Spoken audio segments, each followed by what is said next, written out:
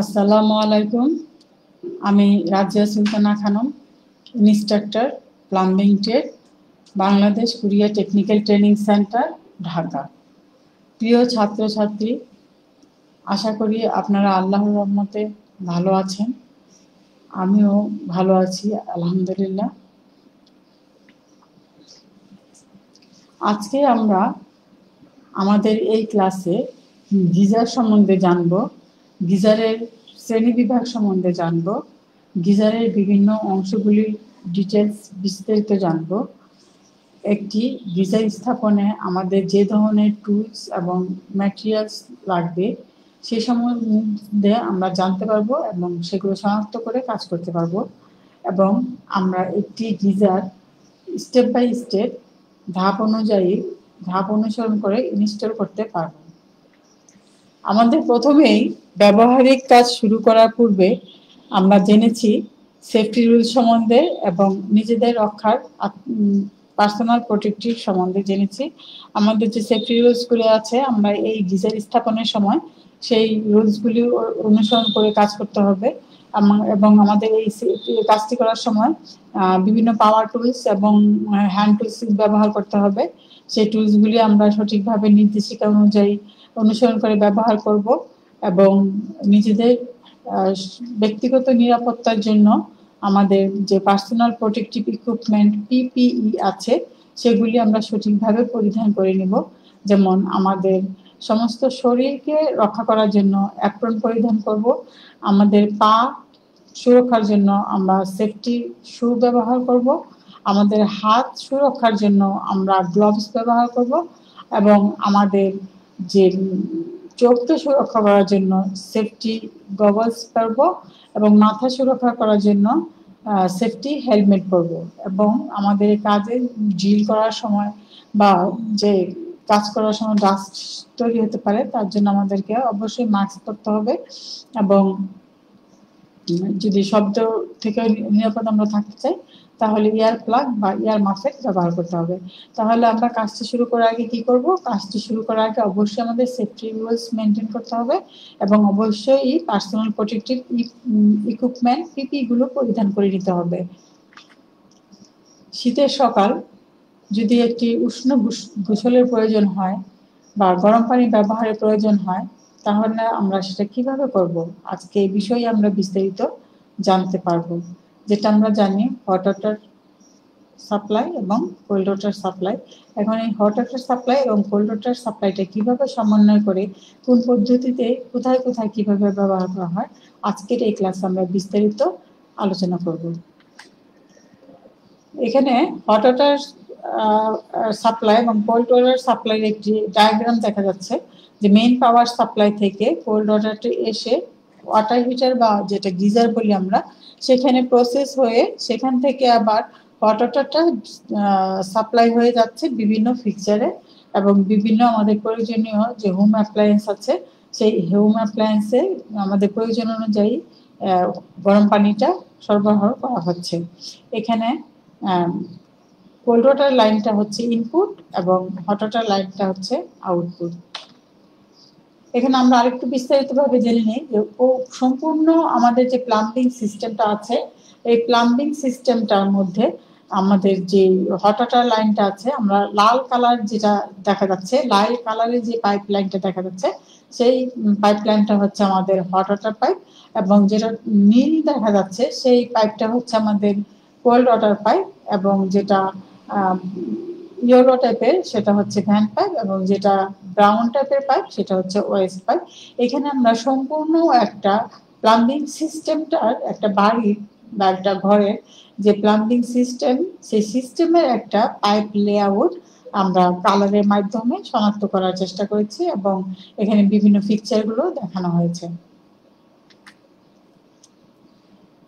এখানে আমরা যে আমাদের যে বহুল প্রচলিত যে ফিকচারগুলো আছে, যেমন বাচ্চার সিং তারপর কমর বা বেসিন, এই ফিকচারগুলো তো মানে মূলত হট ওয়াটারটা ব্যবহার করা হয়। এখানে আমরা আবার একটু বিস্তারিতভাবে দেখে নিচ্ছি হট ওয়াটার এবং কোল্ড ওয়াটার যে পাইপ আউটলেট আছে, দুটি কালার দিয়ে আমরা আইডেন্টিফাই করেছি। কোল্ড ওয়াটারটা ব্লু কালার এবং হট ওয়াটারটা রেড কালার এখানে আমরা দেখতে পাচ্ছি একটা যে ওয়াটার গিজার আছে বা গিজার আছে, গিজার থেকে যে কোল্ড ওয়াটার কোল্ড ওয়াটারটা সাপ্লাই লাইন থেকে আসবে। সাপ্লাই লাইন থেকে ইনপুট হচ্ছে ইনলেট পাইপ দিয়ে। এই অংশটা হচ্ছে ইনলেট এখান থেকে আউটলেটে যাচ্ছে কি হট ওয়াটার হট ওয়াটার আউটলেটে কোথায় যাচ্ছে? কিচেনে যাচ্ছে শাওয়ারে যাচ্ছে বাথটাবে যাচ্ছে। তাহলে এই যে আমাদের যে ইনপুট এবং আউটপুট এই ডায়াগ্রামটা আমরা এই চিত্রটার মাধ্যমে সহজেই বুঝতে পারছি। আমাদের যে ওয়াটার হিটার বা গিজারটা আছে, সেই গিজারটার যে হট ওয়াটার লাইনটা আছে, এই হট ওয়াটার লাইনটা সাপ্লাই সরাসরি কোথায় যাচ্ছে? ফিক্সারে এখানে আমরা যে রাইট সাইডে যে চিত্রটা দেখতে পাচ্ছি, এখানে আমাদের যে গিজারের সাথে কানেকশনটা হচ্ছে, সেখানে বিভিন্ন ফিটিংসগুলি ইউনিয়ন এলবো বাল্ব শাট আপ বাল্ব এই ধরনের ফিটিংসগুলি ব্যবহার করা হয় এবং লেফট সাইডে যে ডায়াগ্রামটা দেখতে পাচ্ছি, এখানে আমরা একটা ওয়াটার হিটার থেকে সরাসরি পাইপগুলো রেড কালার দিয়ে যে আইডেন্টিফিকেশন দেখানো হচ্ছে, যে ফিকচারে চলে যাচ্ছে ওয়াটার লাইনটা এবং যে ব্লু কালারের পাইপটা আসছে মেইন ওয়াটার সাপ্লাই থেকে, এটা হচ্ছে আমাদের ইনলেট পাইপ মানে এটা সরবরাহ পাইপ এবং এটা ব্লু কালার দিয়ে নির্দেশিত করা হয়েছে। তাহলে আমাদের এখানে বিভিন্ন ফিটিংসের মাধ্যমে আমাদের যে ইনলেট পাইপ এবং আউটলেট পাইপ, এই পাইপগুলো গিজারের সাথে কানেকশন হয়ে ফিক্সারে যাবে। গিজার কি? গিজার গিজার মূলত ওয়াটার হিটার বা গরম পানিকে, গরম পানি ঠান্ডা পানিকে গরম করার একটা প্রক্রিয়ার মাধ্যম বা অ্যাপ্লায়েন্স সহজ কথায়, গিজার বলতে আমরা কি বুঝি? যার মাধ্যমে ঠান্ডা পানিকে প্রসেস করে, প্রক্রিয়াধীন করে গরম পানিতে রূপান্তরিত করা যায়, তাকেই গিজার বলা হয়। তাহলে আমরা বুঝতে পারছি কি?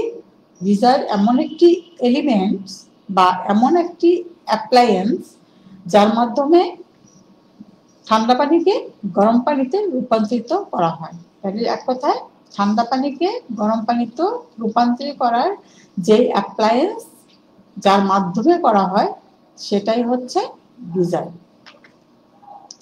গিজারের বিভিন্ন পার্টস গুলি ডিটেলসগুলো আমরা একটু ভালো করে জেনে নেই। যেমন এখানে এখানে হিটিং এলিমেন্ট আছে। গিজারের যে ভিতরে যে হিটিং থার্মাল প্রসেসটা সেটাতে দেখা যাচ্ছে যে একটা হিটিং এলিমেন্ট থাকে। এই হিটিং এলিমেন্টের সাথেই কিন্তু ইলেকট্রিক পাওয়ার সাপ্লাই দেওয়ার পরে এটা জাস্ট আমরা যেটা বাইরে থেকে হিটার যখন দেখি যে হিটারের কয়েলগুলো জ্বলে উঠে ঠিক সেইভাবেই কিন্তু যখন ইলেকট্রিক সাপ্লাই দেওয়া হয়, এখানে যে ইলেকট্রিক সাপ্লাই দেওয়া যাচ্ছে, তখন এই হিটিং এলিমেন্টটা হিট হয়, উত্তপ্ত হয়। উত্তপ্ত হয়ে এই যে রড থার্মোস্টেট আছে, এর মাধ্যমে এখানে যে ভিতরে পানিটা আছে, ঠান্ডা পানিটা দেওয়া হচ্ছে এখানে কোল্ড ওয়াটার এই কোল্ড ওয়াটার দিয়ে যে ঠান্ডা পানিটা সরবরাহ করা হচ্ছে, এই হিটিং এলিমেন্টের মাধ্যমে ওই ঠান্ডা পানিটা এখানে প্রসেস হয়। প্রসেস হয়ে এটা গরম পানিতে রূপান্তরিত হয়। গরম পানিতে রূপান্তরিত হয়ে এখানে যে যে আমাদের যে হট ওয়াটার লাইনটা দেখা যাচ্ছে, এই হট ওয়াটারের মাধ্যমে এটা বাইরে সরবরাহ, বিভিন্ন ফিকচারে সরবরাহ করা হয়। এখানে আমরা একটি ইলেকট্রিক আমরা ইলেকট্রিক হিটারের নিয়ে আলোচনা করব মূলত।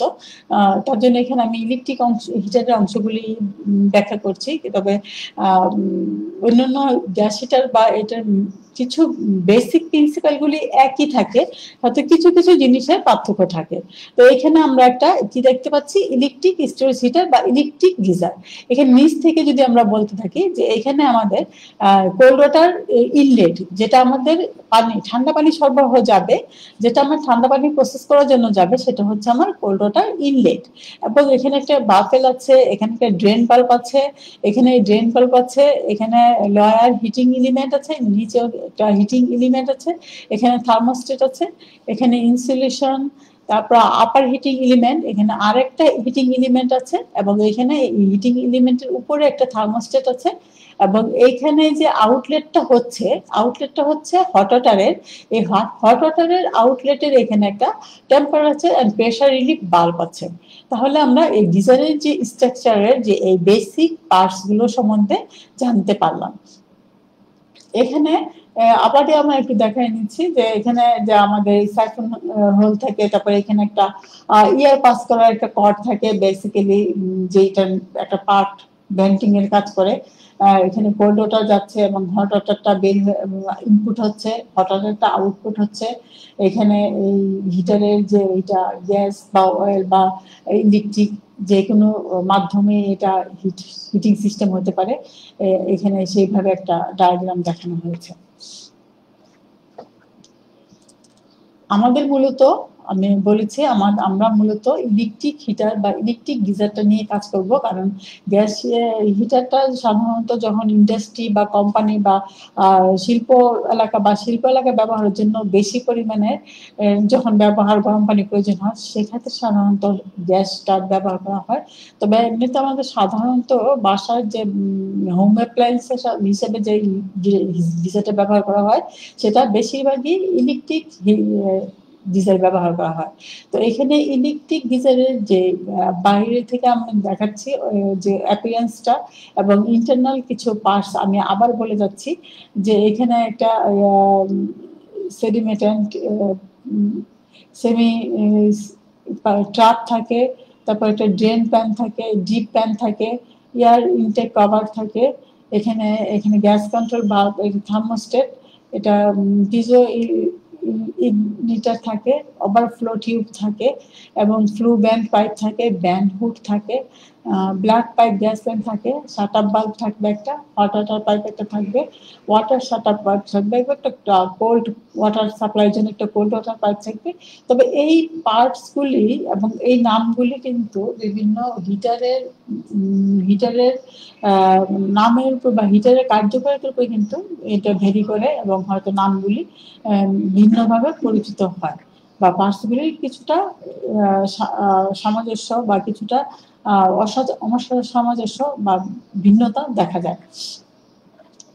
ওয়াটার হিটারকে সাধারণত ওয়াটার হিটারের যে পাওয়ার সোর্স আছে বা ফুয়েল সিস্টেম আছে ফুয়েল সাপ্লাই তার উপরে প্রধানত বিভাগে ভাগ করা যায়। একটা হচ্ছে পাওয়ার সোর্স বা ফুয়েল সাপ্লাইয়ের উপর ভিত্তি করে এবং আরেকটা হচ্ছে যে এই ওয়াটার হিটারটা কোন প্রসেসে কাজ করতেছে, কোন প্রসেসে হিটটা ট্রান্সফার করতেছে তার উপর ভিত্তি করে। আর সাধারণত এমনিতে যে ওয়াটার হিটার আছে, সেটাকে চারটা ক্যাটাগরিতে ভাগ করা যায়। সেটা হচ্ছে electric hot water system gas hot water system solar hot water system এবং হিট পাম্প ওয়াটার হিটার এখানে আমরা ইলেকট্রিক হট ওয়াটার সিস্টেমটাই মূলত আলোচনা করব।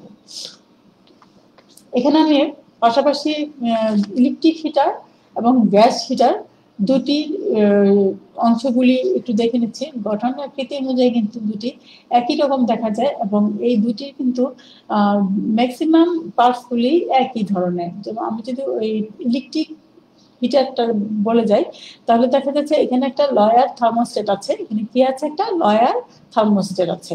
এবং উপরের দিকে একটা কি আছে? আপার থার্মোস্টেট উপরে এটা কি আছে? আপার থার্মোস্টেট এবং এখানে এখানে আমাদের ইলেকট্রিক হিটারে একটি ড্রেন বাল্ব আছে গ্যাস হিটারেও একটি ড্রেন বাল্ব আছে। এখানে যেটা আছে যে গ্যাস হিটারের ক্ষেত্রে এখানে একটা কন্ট্রোল বাল্ব আছে, একটা বার্নার আছে, এবং একটা থার্মোকপল আছে। আর এখানে গ্যাস সাপ্লাইয়ের জন্য একটা শাট আপ বাল্ব আছে। গ্যাস সাপ্লাইয়ের জন্য কি আছে এখানে একটা? শাট আপ বাল্ব আছে। আর আমাদের ইলেকট্রিক হিটারে কি থাকবে? ইলেকট্রিক হিটারে থাকবে ইলেকট্রিক পাওয়ার সাপ্লাইয়ের একটা লাইন থাকবে।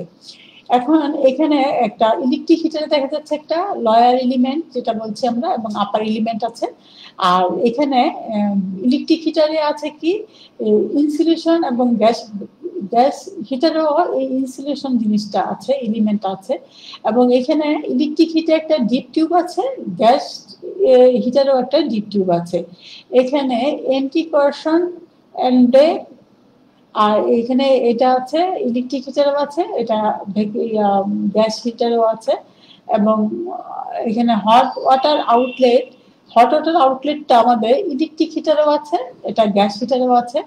ওভারফ্লো পাই, এটা আমাদের ইলেকট্রিক হিটারও আছে, এটা আমাদের গ্যাস হিটারও আছে, এটা টেম্পারেচার অ্যান্ড প্রেশার রিলিফ বাল্ব এটা আমাদের ইলেকট্রিক হিটারও আছে, এবং আমরা দেখতে পাচ্ছি এটা আমাদের গ্যাস হিটারও আছে, এবং এখানে আমরা দেখে আসছি কি, যে ইলেকট্রিক হিটারের জন্য আমাদের একটা ইলেকট্রিক পাওয়ার সাপ্লাই লাগবে, আর গ্যাস হিটারের জন্য আমাদের কি লাগবে একটা, এখানে দেখা যাচ্ছে গ্যাস সাপ্লাই দেওয়া হচ্ছে। গ্যাস সাপ্লাই দেওয়া হচ্ছে। এখানে কন্ট্রোলিং এর জন্য একটা গ্যাস সাপ্লাই সাত আট বাল্ব ইউজ করা হচ্ছে। আর এখানে একটা ইলেকট্রিক সাপ্লাই দেওয়ার জন্য ওয়ারের মাধ্যমে সুইচ সকেটের ব্লাক মাধ্যমে এখানে নিয়ন্ত্রণ করা হচ্ছে ইলেকট্রিক সাপ্লাইটা এবং এখানে যে ইনলেট পাইপটা আছে ইনলেট এখানে একটা ওয়াটার কোল্ড ওয়াটার বাল্ব কোল্ড ওয়াটারটা সাপ্লাই দেওয়ার জন্য এখানে একটা কোল্ড ওয়াটার বাল্ব দিয়ে এখানে নিয়ন্ত্রণ করা হয়। আমরা এটা ইলেকট্রিক হিটার সাপ্লাইও দেখছি এবং আমরা এটা গ্যাস গ্যাস গিজারের ক্ষেত্রেও আমরা এই কোল্ড ওয়াটার বাল্বটা দেখছি।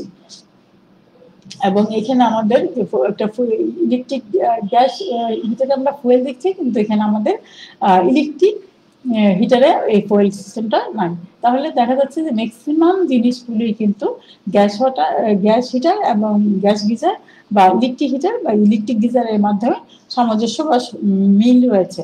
দু একটা এলিমেন্টস ভিন্নতা, তার ফাংশন অনুযায়ী ভিন্নতা আছে। এখানে আমরা ইলেকট্রিক গিজারের নিয়ে আলোচনা করব। আমরা এই পর্যায়ে চলে আসছি আমাদের যে মূল বিষয়। আমরা ইলেকট্রিক গিজারটা নিয়ে মূলত আলোচনা করব। এখানে আমাদের যে অ্যাভেলেবল যে সাইজ এবং যেই ভাবে ইলেকট্রিক যে স্পেসিফিকেশন গিজারের সে সম্বন্ধে একটু জেনে নেই। যেমন আমাদের গিজারের সাইজ যেমন এক লিটার তিন লিটার সিক্স ছয় লিটার এবং দশ লিটার পর্যন্ত গিজার আছে এবং ছয় থেকে পঁয়ত্রিশ লিটার পর্যন্ত গিজারের সাইজ হয়ে থাকে এবং এটা কনসিডার ইয়ে থাকে কনসিডারের লিটার লো থাকে এবং এটা বিভিন্ন কোম্পানির হয়ে থাকে। এখানে পঁচিশ লিটারের যে বাজাজ ইন্ডিয়ার বাজাজ কোম্পানির যে লিটার দেখতে পাচ্ছি আমরা গিজার পঁচিশ লিটার পঁচিশ লিটার দুই হাজার ওয়াটস এটা পাওয়ার কনজিউম করে কনজামশন হয়।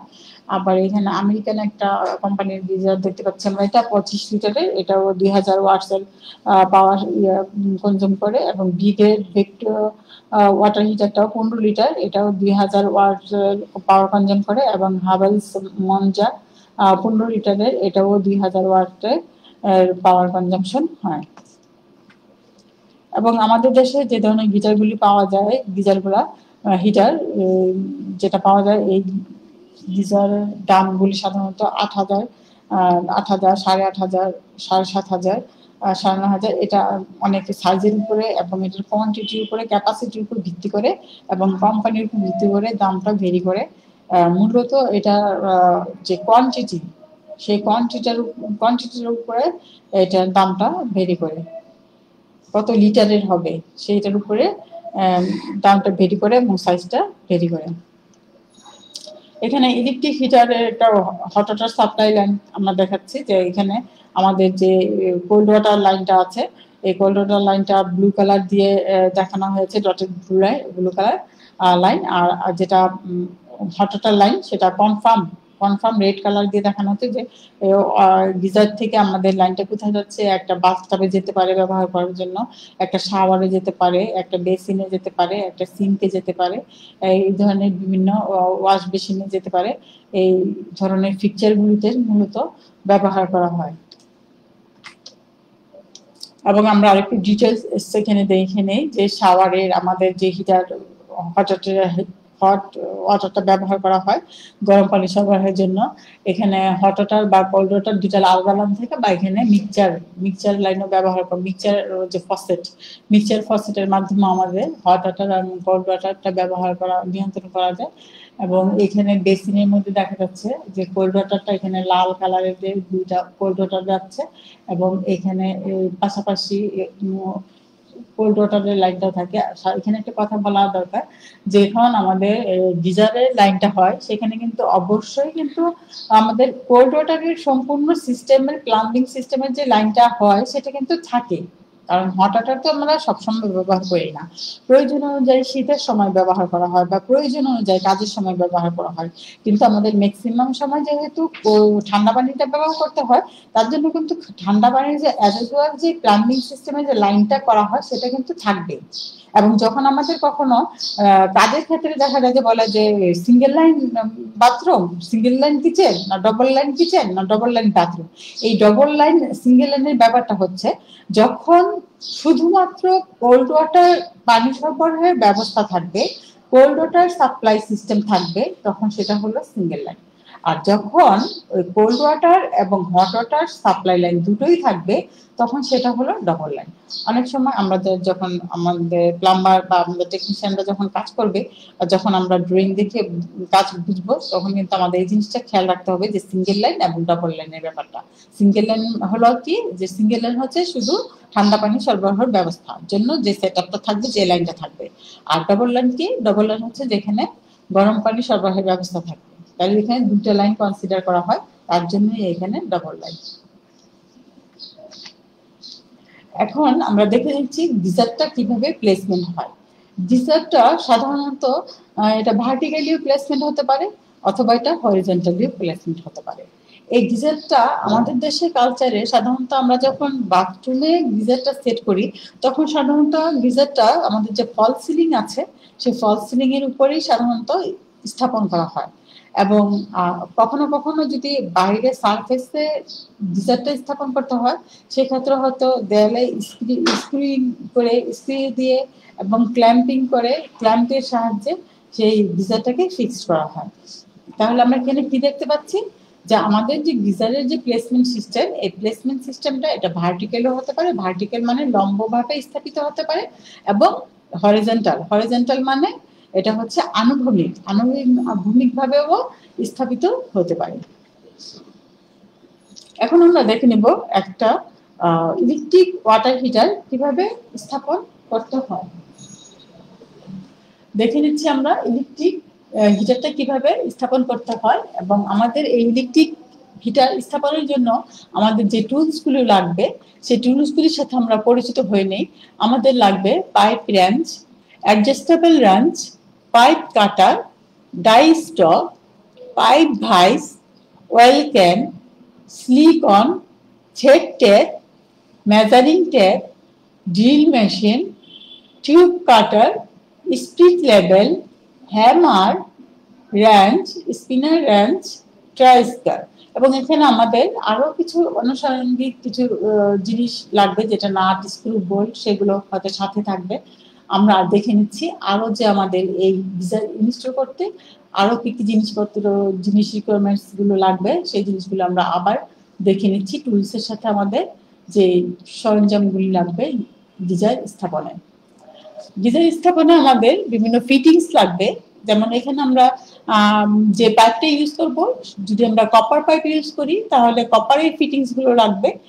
যেমন এলবো টি নিপল তারপরে ইউনিয়ন এই ধরনের শাটার বাল্ব তারপর টিপি ভাল্ব অ্যাঙ্গেল স্টোপ এই ধরনের জিনিসগুলি আমাদের লাগবে। যদি কপার ইউজ করি, তাহলে আমাদের সেটার সাথে আমাদের কপার বা কপার ফিটিংসগুলি ব্যবহার করব। আর আমরা যদি এখানে সিপিপিসি ব্যবহার করি সিপিপিসি পাইপ যদি ব্যবহার করি, তাহলে সিপিপিসি পাইপের সাথে আমাদের ফিটিংস সিপিপিসি লাগবে। তার জন্য এখানে আমি দুটো অপশনই রেখেছি। আবার অনেক সময় দেখা যায় যে কম্পোজিট দেখা যাচ্ছে যে কিছু হট ওয়াটার লাইনটা কপারে করে দেওয়া হচ্ছে হয়তো আর কোল্ড পিভিসিতে করে দিচ্ছে। কিন্তু সিপিপিসি ইউজ করার সুবিধা হলো এটা যে সিপিপি সিপিপিসি ইউজ করলে আর আলাদা করে কিন্তু কপার ইউজ করতে হয় না। সিপিপিসি হট ওয়াটার জন্য এটা ব্যবহার করা যায়। হট ওয়াটার সহনীয়। সিপিপিসিটা হট ওয়াটার সহনীয় পাইপ এটার সাহায্যে সিপিপিসিতে হট ওয়াটার এবং কোল্ড ওয়াটার দুটাই পানি সরবরাহ এবং গিজারের যে সিস্টেম সেখানে ব্যবহার করা যায়। এবং আমাদের একটি গিজার লাগবে। এখানে গিজারটি হচ্ছে ইলেকট্রিক টাইপ গিজার এবং আমাদের এখানে অকাম অকাম লাগবে। এটা হচ্ছে যে লুজ জুটের যে যে জুটের যে পাতলা আঁশ, এটা আমরা এখানে লাগবে। ইয়ার জন্য, বিভিন্ন ফিটিংস কানেক্টরের জন্য। এখানে বিভিন্ন ফেসেনার লাগবে, নাট, বল্টু স্ক্রু এগুলো লাগবে। স্টিল কানেকশন পাইপ লাগবে কানেক্টর হট ওয়াটার এবং কোল্ড ওয়াটারের কানেকশন দেওয়ার জন্য কানেকশন পাইপ লাগবে এবং আমাদের টিপি বাল্ব লাগবে। আমাদের যে এই আউটলেট এবং ইনলেট আছে, সেখানে কানেকশন দেওয়ার জন্য আমাদের প্রবাহ নিয়ন্ত্রণের জন্য টিপি বাল্ব লাগবে এবং শাট আপ বাল্ব লাগবে। এবং অ্যাঙ্গেল স্টপ কক লাগবে তাহলে এই ধরনের জিনিসগুলো আমরা টুলস এবং ফিটিংস এবং যে রিকোয়ারমেন্টসগুলো আছে সেগুলো সম্বন্ধে পরিচিত হয়ে নিলাম। এখন, এখানে আমরা দেখে নিচ্ছি একটা হিটার যখন আমরা স্থাপন করতে যাব, একটা হিটার গিজার এবং এইখানে একটা পাওয়ার সাপ্লাই এবং এই কানেকশনগুলি আমরা বিস্তারিত বুঝতে হবে এবং জানতে হবে। একটা গিজারের প্লেসমেন্টের জন্য আমাদের আগে স্থানটা নির্বাচন করে নিতে হবে এবং এখানে যে ইনলেট এবং আউটলেটটা আছে, সেই দুইটাতে আমাদের কাজ করতে হবে এবং এখানে যে আছে বাল্ব যেখানে যথাস্থানে যে বাল্বটা প্রয়োজন শাটার বাল্ব বা গেট বাল্ব বা বল বাল্ব যেটা আমাদের এখানে প্রয়োজন, সেই অনুযায়ী আমাদের বাল্বগুলি সেট করতে হবে এবং আমাদের যে ইনপুট সিস্টেমটা এবং আউটপুট সিস্টেমটা এবং পাওয়ার সাপ্লাই এবং ড্রেন এবং ইয়ার এই কয়েকটা জিনিস আমাদের ভালোভাবে লক্ষ্য রাখতে হবে। এখানে যে পাওয়ার সিস্টেমটা দেখা যাচ্ছে। এখানে আমরা বলে আসছি power system drain line input output এই বিষয়গুলি লক্ষ্য করে আমাদের কাজ করতে হবে। এবং বাল্বগুলি আমাদের কীভাবে গতিবিধি নিয়ন্ত্রণ করতে হবে, সেই জিনিসগুলো আমাদের বুঝতে হবে এবং পাওয়ার সাপ্লাইয়ের ব্যাপারটা আমাদেরকে এখানে বুঝতে হবে। অন অফ এর ব্যাপারগুলো আমাদের বুঝতে হবে। কীভাবে কানেকশন করা হচ্ছে, এগুলি সাধারণত গিজারের সাথে ক্যাটালগ থাকে এবং সেই ক্যাটালগের নির্দেশিকা অনুযায়ী অনুসরণ করেই আমরা সে কাজগুলি করতে পারি। তাহলে আমরা গিজারটা সম্বন্ধে পরিচিত হয়ে নিলাম।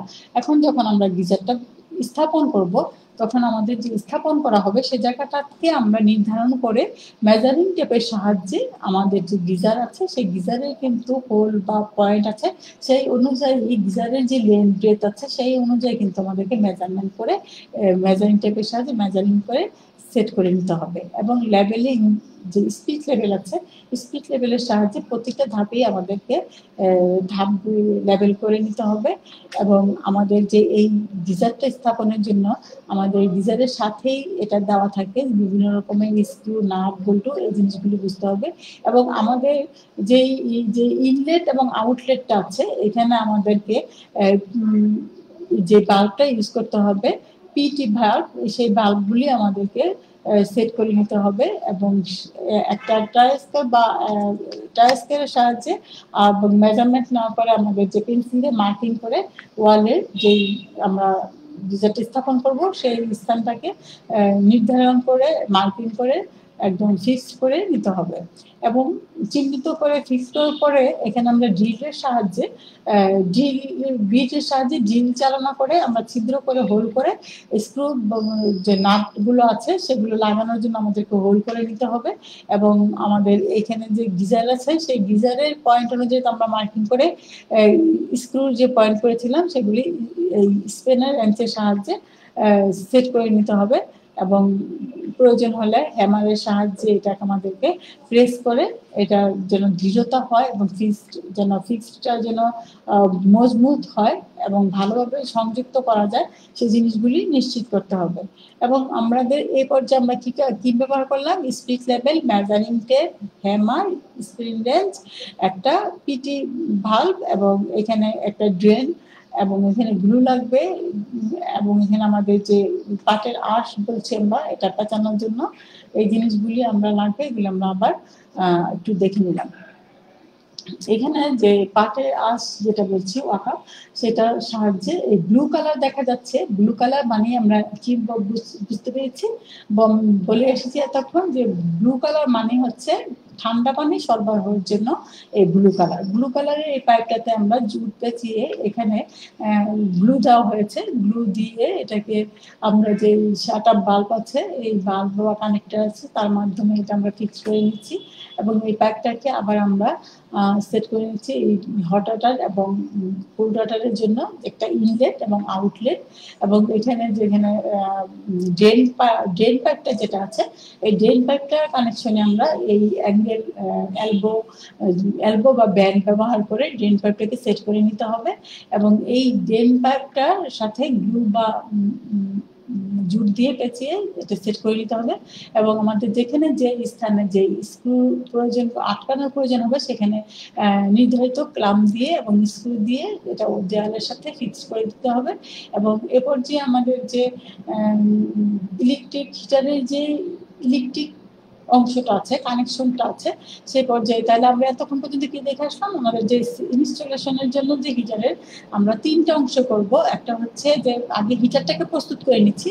কানেকশনের কি কি আমাদের ইনলেট পাইপ আউটলেট পাইপ এবং আমাদের যে দেয়ালে ফিক্স করব, সেই জিনিসগুলো আমরা সেট করে আসছি। এই পর্যায়ে আমরা ইলেকট্রিক সাপ্লাইয়ের কানেকশনের অংশগুলি করব। এখানে আমরা যে ইলেকট্রিক তারগুলো ওয়ারগুলি দেখতে পাচ্ছি, এই জিনিসগুলি ফিক্স করব।